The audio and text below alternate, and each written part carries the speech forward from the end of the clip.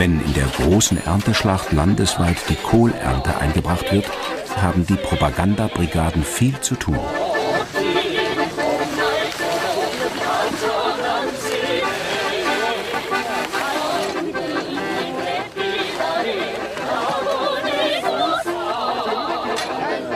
So etwas gibt es nur noch in Nordkorea, dem letzten streng kommunistisch regierten Land der Welt. Strahle hell, du Epoche der Arbeiterpartei, genährt von der Sonne unseres großen Führers, singen sie. Die Arbeiter achten weder auf die Sänger noch auf die Beschallungswagen.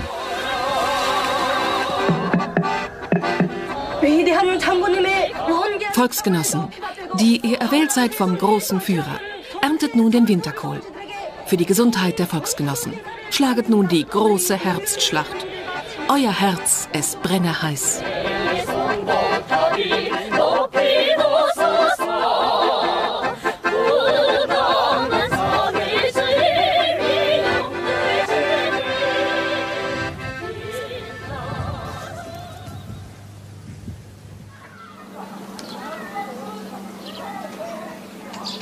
Tek-Am ist eine von über 3000 landwirtschaftlichen Kooperativen in Nordkorea und gewiss eine Vorzeigekooperative.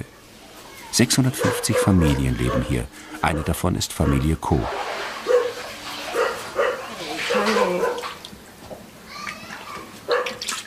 Von Ko Chun-hui lernen wir ein Wort, das den Männern in Nordkorea wichtig ist. Schicksal, das heißt Essen. Morgens machen wir erstmal Essen, dann aufs Feld, dann wieder kochen und so weiter. Wir Frauen arbeiten und kochen. Die Männer wollen ja ihr Essen. Es wäre schon schön, in unserer Hauptstadt zu leben. Aber dank unseres Führers haben wir auch auf dem Land alles, was wir Frauen brauchen. Als in den 50er Jahren die Bauern Kooperativen bilden mussten, war Großvater Ko dabei. Schade, dass er uns nichts erzählen will oder darf. Aber wir sind schon froh, dass wir bei einer ganz normalen Familie Gast sein dürfen. Das ist Ausländern in Nordkorea eigentlich nicht erlaubt. Ko Chun-hui verbringt mehr Zeit am Herd, als ihr lieb ist. Der koreanische Mann will eben das Essen pünktlich auf den Tisch, dreimal am Tag. Ihr Mann, Rim Yong-chol, leitet die Ackerbaubrigade 1. Er sucht den Genossen Direktor.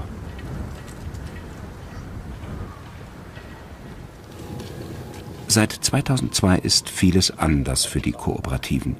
Sie bekommen nicht mehr alles von oben befohlen, können freier wirtschaften, sogar einen Teil der Ernte selbst vermarkten. Da gibt es viel zu besprechen. Auch über die Ochsenzucht und das große Problem der Kooperative, den Energiemangel. Ja, stimmt. Das ist landesweit das große Problem. Wir züchten jetzt Ochsen als Zugtiere. Ziel ist vier Ochsen pro Hektar. So wollen wir den Plan dennoch erfüllen.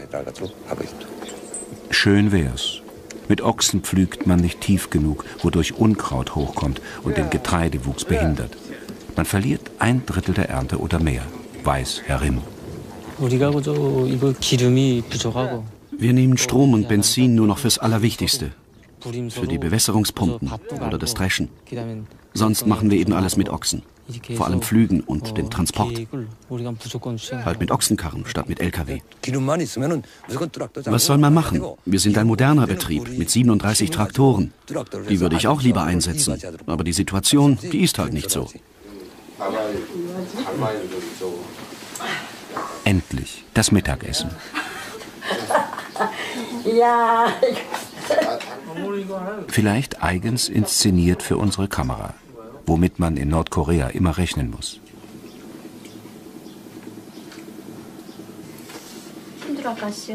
Doch Familie Ko ist, was sie häufig ist, ein urkoreanisches Gericht, Sam genannt. Reis nur mit Sojapaste in Salat gewickelt.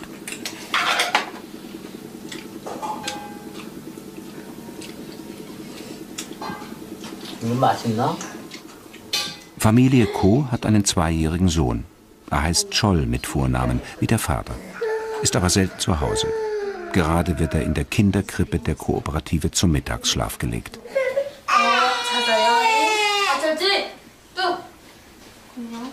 In Nordkorea gibt man Kinder bereits im Alter von sechs Monaten tagsüber in die Obhut des Staates. Das ist freiwillig, aber jeder tut es.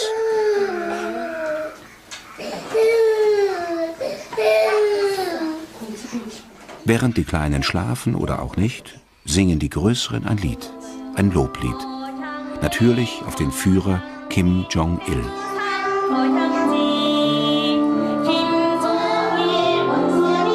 Wenn wir morgens früh aufstehen, grüßen wir zuerst den verehrten Führer, singen sie.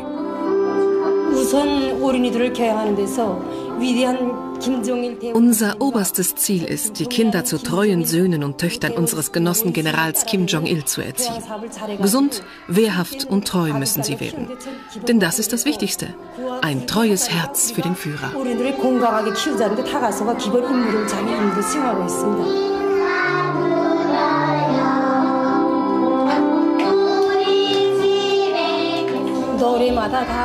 Alle unsere Lieder haben einen bestimmten Zweck. Lieder ohne Zweck singen wir nicht.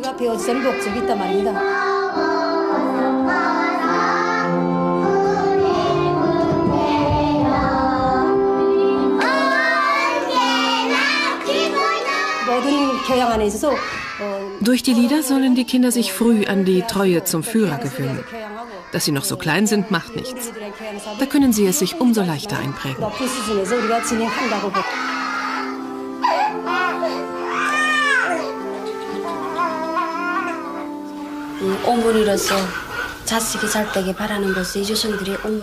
Wenn ich nachts so liege und nicht schlafen kann, denke ich an mein Kind, was einmal aus ihm wird.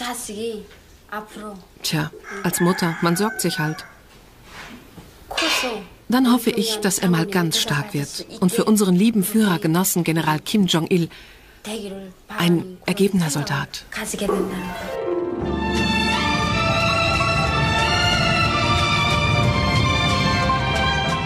Wir verlassen Tegam, fahren über Land. Unser Ziel ist Hamhung, eine Industriestadt an der Ostküste.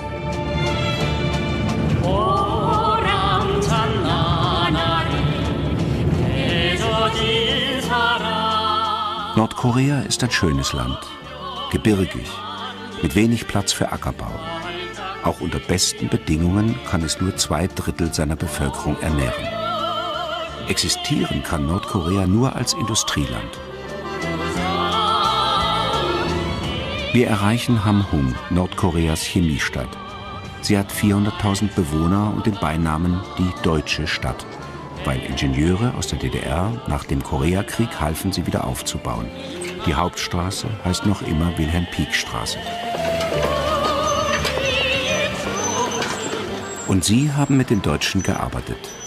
Frau John und Herr Rie wurden sogar in der DDR ausgebildet. Dort wurden sie ein Paar. Das sind sie bis heute.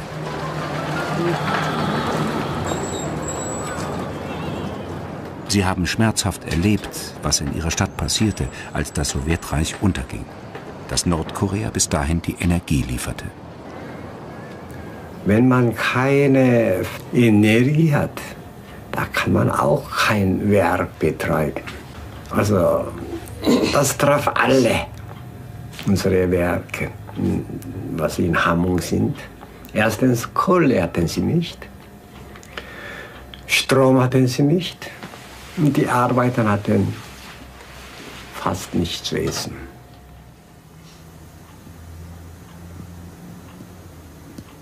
Herr Rie ist Chemieingenieur, 65 Jahre alt und pensioniert. Lange hat er in den fünf riesenhaften Chemie- und Düngerwerken unterrichtet. Als 1995 zur großen Wirtschafts- und Energiekrise noch Naturkatastrophen hinzukamen, begann die Zeit des Hungers. Auf dem Land konnte man sich in schlimmster Not noch selber helfen, in den Städten nicht. Wir haben versucht, alles zu essen, was man essen kann. Also Eicheln und so weiter, was auf den Bergen wächst. Und alle Kräuter, die keine Gifte hat. Das haben wir auch gegessen. Sogar Kiefernadel haben wir auch gegessen. Die Bilder sind nicht an einem Sonntag aufgenommen. Kräne und Züge stehen still. Bis auf wenige Betriebe in der Hauptstadt liegt Nordkoreas Industrie am Boden. Werke laufen auf 5% der Kapazität, wenn sie nicht stillstehen. Hoch lebe Kim Jong-il, das Gehirn des 21. Jahrhunderts, steht auf den Tafeln am Stadtrand von Hamhung. Wissen Sie, da hinten ist dieser Berg. Da waren so viele Bäume, dass auch dort sehr viele Rehe und Fasanen gab. Heute steht kein ein einziges Baum. Wissen Sie? Wir hatten nichts zu feuern, nichts zu essen, kein Licht, naja, kein Strom, dann ist auch kein Wasser da. Es war sehr schwierig. Hamhung. Vor allem die kostensparende Plattenbautechnik haben die DDR-Helfer damals eingeführt. Herr Rie ist mit seiner deutschen Zeit innig verbunden. Weil er so freundlich ist, wagen wir die Frage, nach all dem Niedergang wäre es nicht Zeit, den Kommunismus aufzugeben? Also, ich glaube nie, dass wir andere Weg schreiten werden. Dann hätten wir schon sowieso früher geschritten, ja, ohne Problem dann. Aber was wir angefangen haben, das lassen wir nie zu, dass jemand das zerstört. Äh, wissen Sie, ein Deutscher hat mir gefragt, Korea hm, kann nicht aushalten, wenn Amis wollen, zwei, drei Jahre, dann habt ihr nichts Essen mehr. Da habe ich gesagt, wir lassen uns nie biegen, wenn auch zerbricht. Herr Rie spricht über die schlimmsten Jahre, die Vergangenheit. Inzwischen hat sich die Ernährungssituation stabilisiert, vor allem dank weltweiter Hungerhilfe. Doch ohne diese Konvois wäre die Not rasch wieder akut.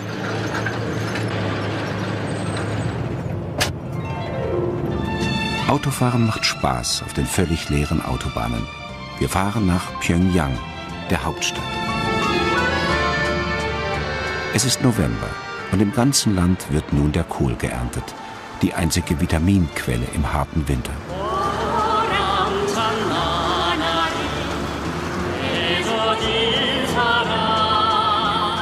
Die Schüler ziehen auf die Felder.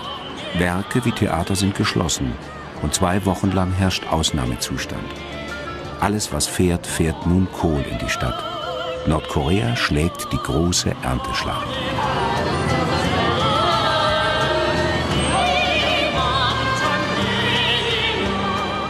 Scharf eingelegt wird aus dem Kohl Kimchi, Koreas Nationalgericht. Jede Familie bekommt ihre Zuteilung. Dann hat Frau Kang immer viel zu tun. Sie überwacht die Zuteilung für ihren Inminban. Pyongyang ist unterteilt in Bezirke, diese in Stadtgemeinden und die wiederum in Tausende Inminban, die kleinste Einheit.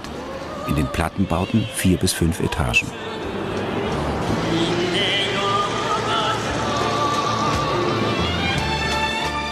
Dem Inminbahn Nummer 49 im Zentralbezirk steht Rentnerin Kang vor. Sie macht Kimchi wie alle jetzt.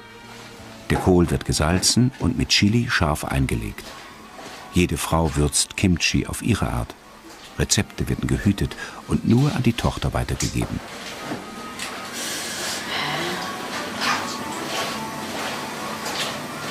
Wie in jeder Wohnung dudelt ein Radio, das man nur leiser stellen, aber nicht abstellen kann.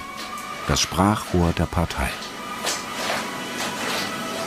직무는 나 직무는 우리 그 지금 그 23세대로 구성되어 있는 주민들이 그저 이거 als Chefin des Inminbahn habe ich verschiedene Pflichten.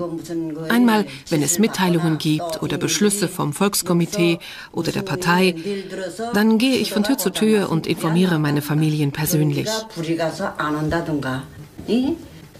Bei mir sind es 23 Familien, auf die ich aufpasse.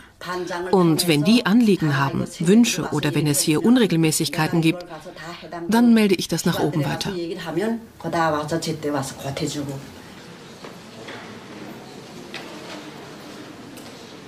Wir glauben nicht, dass Frau Kang in dieser Wohnung lebt. Wir glauben, in einer der legendären Scheinwohnungen zu sein, die das Außenministerium zum Vorzeigen unterhält. Immer ist alles adrett arrangiert. Immer kommt die fesche Enkelin vorbei. Ob sie echt ist oder nicht, weiß man nie. Im Krieg, wenn uns zum Beispiel die Amerikaner angreifen, ordne ich die Verdunklung an. Die kontrolliere ich. Und alle folgen meiner Anordnung. Und dann schaue ich raus, ob die Amerikaner chemische Waffen einsetzen. Dafür bin ich auch zuständig. Dann verteile ich die Gasmasken. Wir sind immer bereit. Wir warten nur auf den Befehl.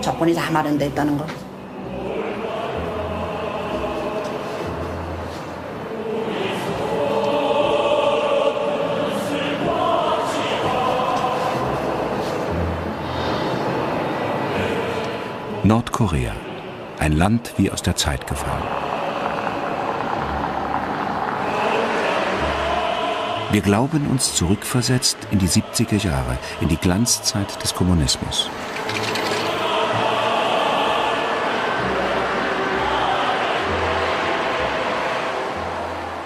Pyongyang erscheint uns wie eine Filmkulisse. Riesenhafte Monumente, weite Aufmarschplätze.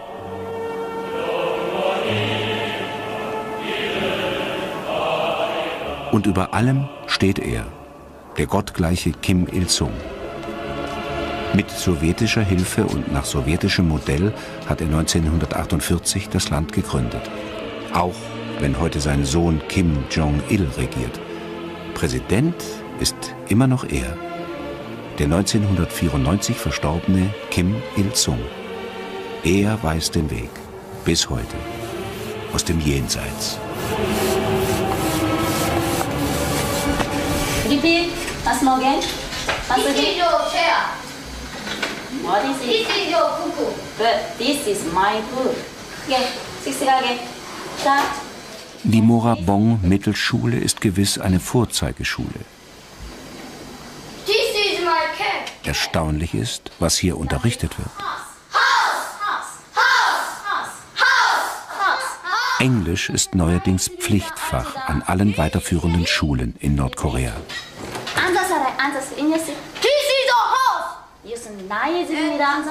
Auch die Universitäten lehren verstärkt Englisch und Funktionäre lassen ihre Kinder privat unterrichten, hört man. This is a room. This is a room. This is a room. Okay, this is a room. This is a room. This is a door. This is a door. Begierig lernen die Kinder die Sprache des Feindes.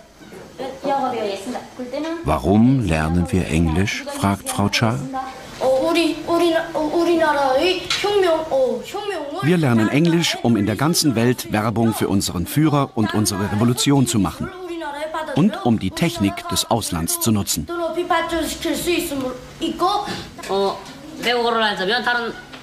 Mit Englisch kann ich mit Ausländern sprechen. Und ich kann erfahren, was woanders auf der Welt geschieht. Ich will auch unsere Technik fortentwickeln, mit dem Wissen aus anderen Ländern. Und ich möchte sehr gern ausländische Bücher lesen. Deshalb lerne ich Englisch. Schulhofalltag. Wir dürfen ihn filmen, so wie er ist. Vor zwei Jahren noch hätte man die Schüler für die Kamera antreten lassen. Frau Cha Yong-mi hat noch einen ganz wichtigen Termin.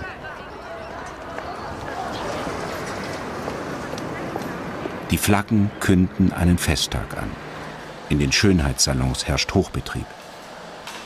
Der Besuch kostet nur wenig. Schließlich trägt Pyongyang den Beinamen Paradies der werktätigen Massen.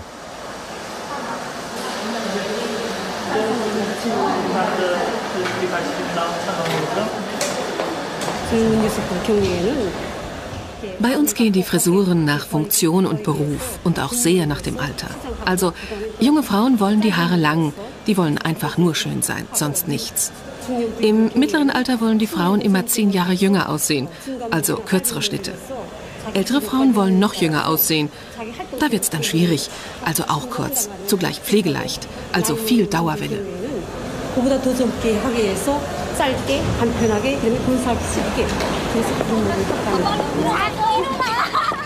Seit zwei, drei Jahren ändert sich das Straßenbild. Langsam zwar und auch nur ein wenig. Doch immer mehr Frauen tragen Handtaschen und schicke Kostüme. Und frische Farben leuchten auf im nordkoreanischen Grau. Neu sind die vielen Kioske in der Stadt. Sie verkaufen nur Bonbons oder Limonade und sind doch Symbol einer neuen Zeit. Denn sie werden nicht vom Staat, sondern von Nachbarschaftsgruppen, von Hausfrauen betrieben. Privatwirtschaftlich. Und die erste Werbetafel ist da. Der Kleinwagen wird seit kurzem gemeinsam mit Südkorea gebaut. Ein klein wenig verändert sich sogar Nordkorea.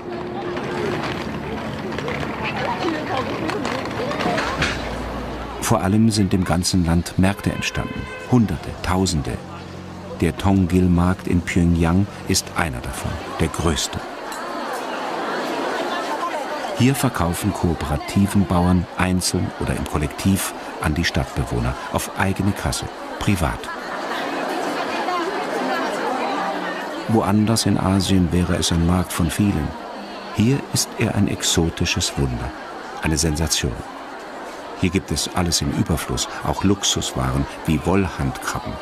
Natürlich nur für den, der Geld hat.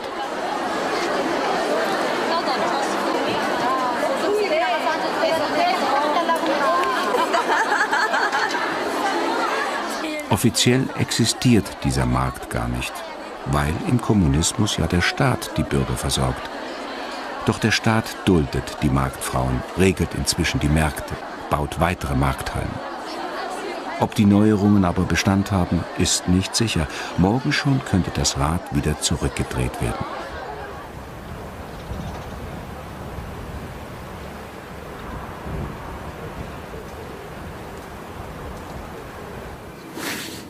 Zeichnen ist seine Leidenschaft.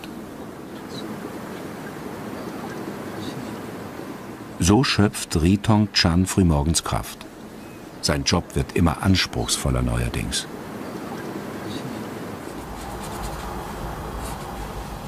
Ständig muss er sich etwas einfallen lassen, der Direktor des Pyongyanger Schuhkombinats.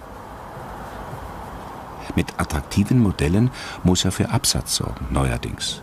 Fast wie in der Marktwirtschaft.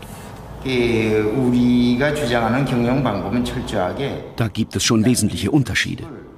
Das sozialistische Prinzip des Kollektivismus, des Volkseigentums, verstehen Sie, bleibt unser oberstes Prinzip. Das werden wir nie ändern. Aber unter diesem Prinzip soll die Produktivität des einzelnen Arbeiters wie des ganzen Werkes maximal erhöht werden. Was wir erreichen wollen, ist höchstmöglichen Profit. Profit, ein neues Wort in Nordkorea. Geld war den Menschen lange unwichtig. Löhne und Preise waren in der Plan- und Versorgungswirtschaft bedeutungslos. Das hat sich geändert. Herrn Ries Schuhe werden heute nicht mehr verteilt, sondern verkauft. Zwar bestimmt noch immer der Staat den Preis, doch tut er dies zunehmend realistisch, marktorientiert. Es wird auch langsam beseitigt, dass Parteiorgane die Werke von oben herunter steuern. Das hat unsere Flexibilität immer behindert. Ich habe nun viel mehr Entscheidungsmacht, auch mehr Verantwortung für den ökonomischen Erfolg. Ich muss kreativ sein, Produkte schaffen, die gefragt sind. Ich muss Produktivität und Rentabilität erhöhen. Dahin geht es. Früher hatte alle Arbeiter fast gleich bezahlt, vor allem gleich niedrig. Jetzt werden die 1300 Beschäftigten nach Qualifikation und nach Leistung bezahlt. Das verändert vieles für die Arbeiter, sagt Direktorie, eigentlich ihr ganzes Leben.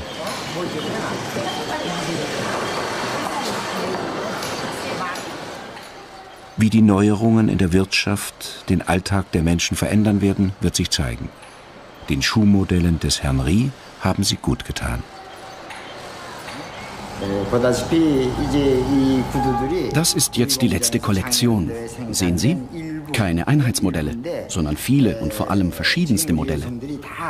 Nun ja, Frauen lieben halt schöne Schuhe. Hier die lange Spitze, sehr gewünscht gerade. Oder dieses Modell mit Blockabsatz. Nicht so modisch, aber gern gekauft. Wir schaffen es kaum genug zu produzieren.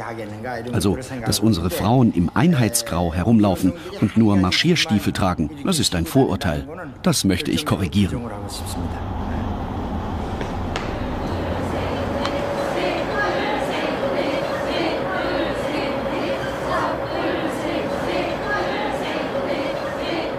Wenn auf den großen Plätzen der Stadt Massengymnastik eingeprobt wird, kann man sicher sein, dass ein revolutionärer Feiertag bevorsteht.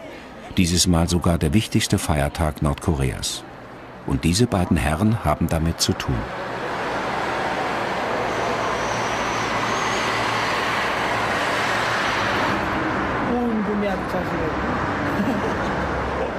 Yonggum Ryang und Kim Hyok sind Freunde und zugleich Kollegen.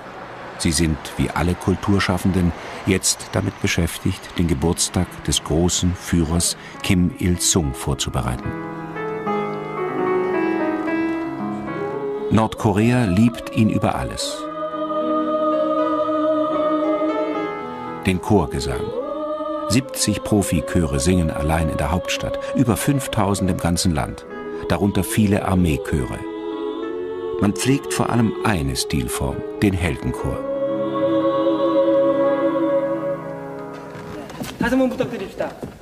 Nicht schlecht. Aber bitte gleich nochmal, sagt Jungum Ryang.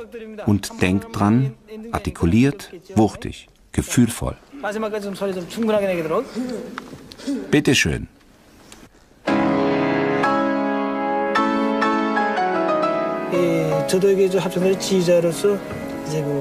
Als Dirigent will ich vor allem das Gefühl der Zuhörer erreichen.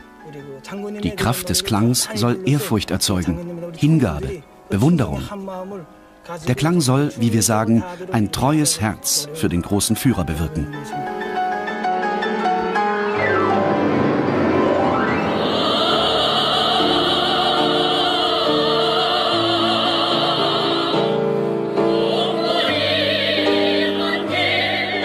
Das Stück ist übrigens ein Klassiker, eine Hymne an Partei und Führer mit dem Titel Wir werden dir für immer folgen.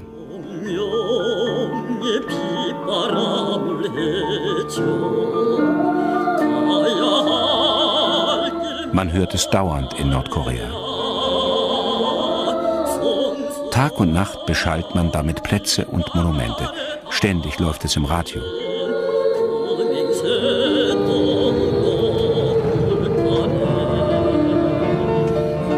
Wir haben Pyongyang verlassen, um zu einem mythischen, ja heiligen Ort Nordkoreas zu fahren. Eine eigens gebaute Autobahn, wie immer völlig leer, führt uns ins Myeoyang-Gebirge.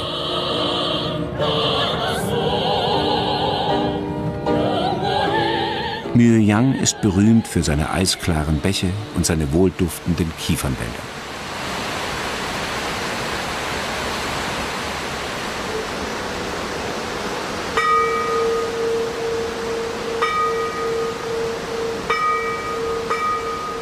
Korea heißt Land der Morgenstille.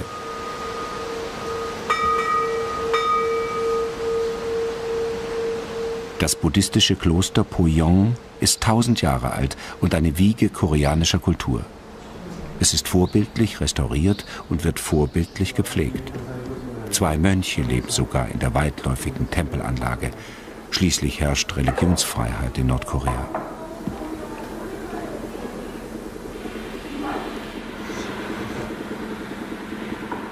Religion ist nicht verboten, aber de facto ersetzt durch allumfassende Verehrung des Führers. Der berühmte Tempel ist längst ein Museum.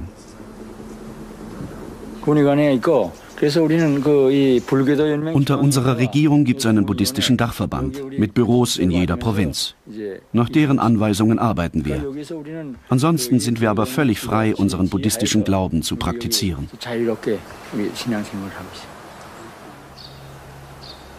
Direkt neben dem Poyon-Tempel und auch in seinem Stil gebaut, liegt der Eingang zu einer sehr nordkoreanischen Verehrungsstätte.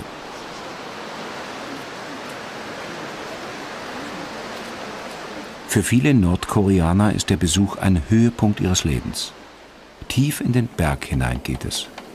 7000 marmorne Quadratmeter umfassen die unterirdischen Hallen, in denen man sich andächtig und nur flüsternd bewegt. 김일성 동지를 경모하여 삼가 인사를 드리겠습니다.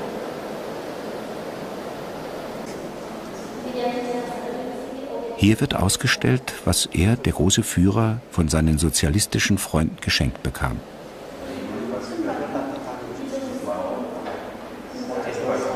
Von Stalin diese gepanzerte Limousine. Von Ceausescu einen Bären, angeblich selbst geschossen. In einem der 200 Räume werden die deutschen Reliquien bewahrt. Den Teddy schenkte die FDJ. Die Nähmaschine und das Jagdgewehr sind von Erich Honecker. Der schenkte immer etwas Praktisches, wie diese Pistole zum Beispiel.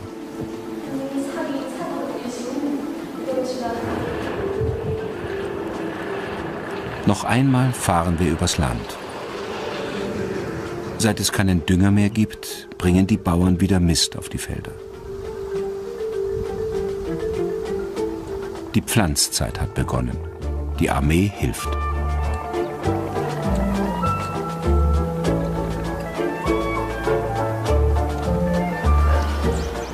Und das ist unser Ziel. Kaesong, eine 100.000 Einwohnerstadt im Süden des Landes, nahe der Grenze zu Südkorea. Bei Kaesong, in einer Sonderwirtschaftszone, bauen Nord- und Südkorea neuerdings gemeinsame Fabriken. Wie die feindlichen Bruderstaaten zusammenarbeiten, hätten wir zu gerne gesehen, aber es wird nicht erlaubt. Da wir schon einmal da sind, schauen wir uns um. Die Polizei ist hier nicht ganz so zackig wie in der Hauptstadt. Stolz ist man auf die superbreite, aber meist autofreie Hauptstraße.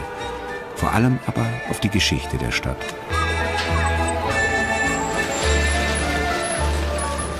Kaesong war Hauptstadt des mittelalterlichen Koryo-Reiches und blieb später im Koreakrieg wie durch ein Wunder unzerstört. So findet man in Kaesong die einzige Altstadt Nordkoreas.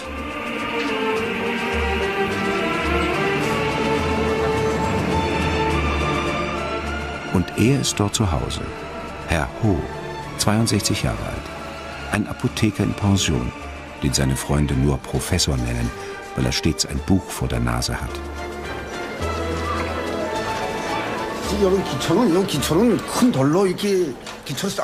Für ein koreanisches Haus nimmt man erstmal große Steine als Fundament. Darauf stellt man dann Balken, ordentliche aus Kiefernholz. Die werden mit Querbalken verzahnt, damit es stabil wird. Darauf das Dach. Und das Wichtigste ist, es muss fliegend aussehen. Verstehen Sie? Fliegend. Gewärmt werden unsere Häuser durch die alte koreanische Bodenheizung, genannt Ondol, die im Steinfundament drin ist und vom Herd der Küche beheizt wird. Es wird von unten her warm. Und dann ist das Haus immer nach Süden gerichtet, damit Luft, Wärme und immer schönes Licht hereinkommen. Für diese Wurzeln ist Kaesong berühmt. Ihr Anbau ist eine hohe Kunst, die hier in Kaesong begründet wurde über Koreas legendäre Kraftwurzel, die tausend Krankheiten besiegen kann, wie man hier sagt, weiß keiner mehr als er, Herr Ho, Apotheker und Ginsengmeister. Nun schauen Sie mal, das ist er, der Koryo Ginseng aus Kaesong. Er hat Menschenform. Oben der Kopf, dann der Körper und die Beine. Das hier ist dreijähriger, auch schon gut. Daraus machen wir aber nur Ginseng-Schnaps, der viel exportiert wird. Aus älteren, größeren, fünfjährigen, wie diesen Wurzeln, wird Hongsan und Beksan, roter und weißer Ginseng, also sehr gefragte Medizin. Es ist auch ein Exportgeschäft. Wir verdienen damit Devisen. Vor tausend Jahren wurde in Kaesong die Wirkung der Wurzel erkannt. Heute wird Ginseng in der ganzen Welt als Vitalitätsspender und Heilmittel genutzt. Es gibt sechs Sorten weltweit. Und andere Länder haben heute auch Ginseng, aber der ist nicht echt. Unser Ginseng hat 50 mal mehr Wirkstoffe. Das Geheimnis ist das ideale Klima, vor allem aber die Erde. Hier ist sie perfekt für Ginseng. Sie besteht aus vier Sorten Sand. Sie ist weich, wir sagen höflich zum Ginseng, der empfindlich ist wie ein Baby und auch so behandelt werden muss.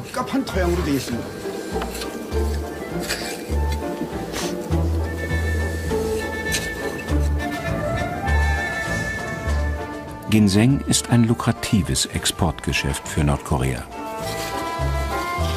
Ginsengfelder werden stets bewacht. Und auch den Erntebrigaden sind immer ein paar Männer beigestellt, die nichts anderes tun als aufpassen. Neben dem Klima und dem Boden gibt's noch ein Geheimnis. Das sind die Menschen hier. Die sind geschickt und nutzen tausend Jahre Erfahrung. Beim Ginseng macht man immer eins nach dem anderen. Ginseng ist empfindlich, da kann man nicht so hektisch herummachen. Ginseng verlangt Gründlichkeit. Hier war tausend Jahre die Hauptstadt der Koryo-Dynastie. Hier geht alles eins nach dem anderen.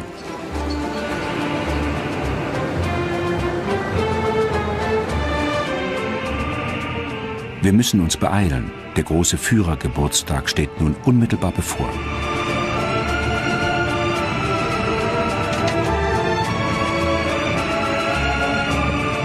Leere Straßen, riesige Wohnmaschinen, zurück in Pyongyang.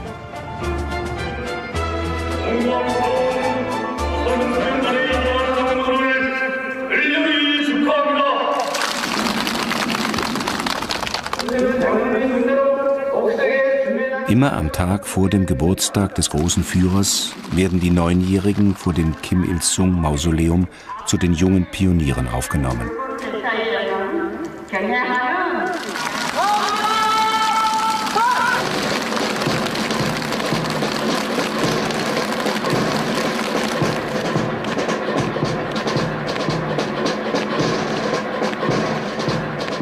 Verdiente Volksgenossen binden den Kindern die roten Pioniertücher um.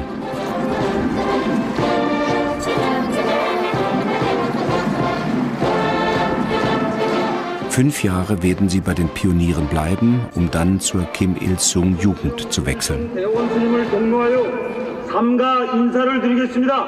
Die Mitgliedschaft ist freiwillig, aber es ist völlig undenkbar in Nordkorea, sein Kind nicht zur Pionierweihe zu schicken.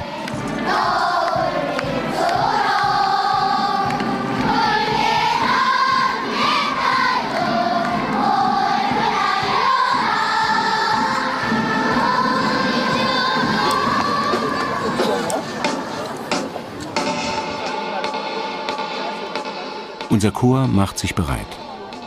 Es ist früh am Morgen des 15. April. Der Geburtstag des großen Führers und Staatsgründers Kim Il-sung hat begonnen.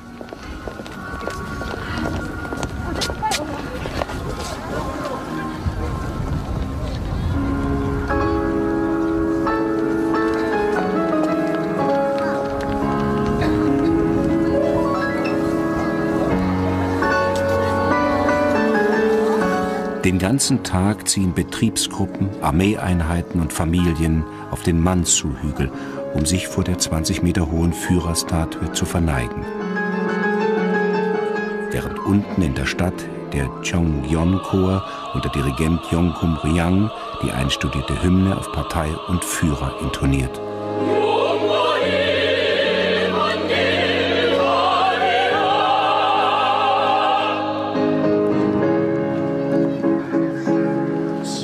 15. April ist ganz Pyongyang auf den Beinen. Die riesigen, sonst leeren Plätze bei den Monumenten sind nun voller Menschen. Für sie ist der Führergeburtstag ein Höhepunkt des Jahres.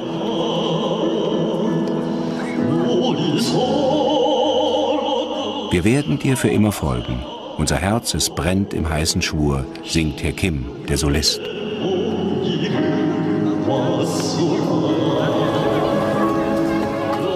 Großen Gewächshaus von Pyongyang wartet schließlich das Glanzlicht des Festtages. Die ganze Stadt geht hin zur Ausstellung der Führerblumen.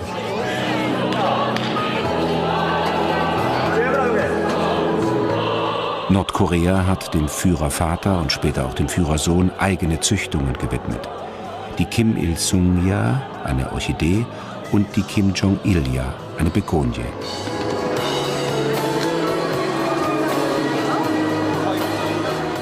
Kombinate, Ministerien und Armeeeinheiten züchten über den Winter diese Blumen um die Wette. In beheizten Gewächshäusern, dem Energiemangel zum Trotz.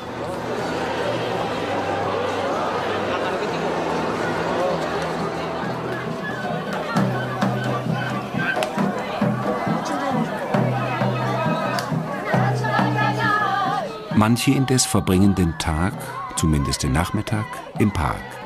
Vor allem die Älteren. Oft in den traditionellen langen koreanischen Kleidern tanzt man alte koreanische Weisen und besingt nicht die Partei, sondern die Liebe.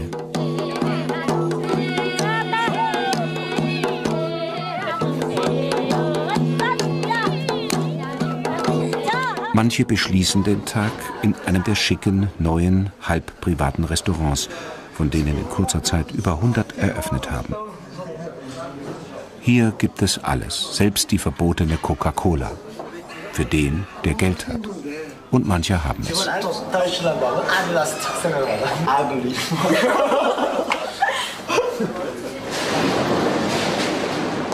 Auch hier, wo sich die Söhne und Töchter der Bessergestellten vergnügen, glaubt man sich nicht mehr im kommunistischen Nordkorea.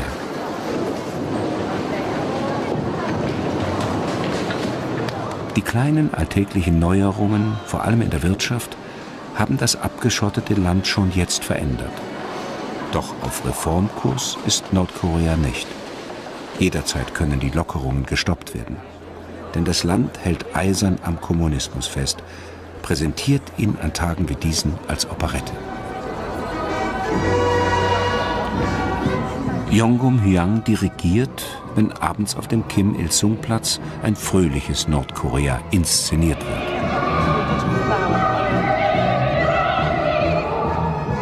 Zehntausend Jugendliche tanzen, nicht freiwillig und ohne Freude.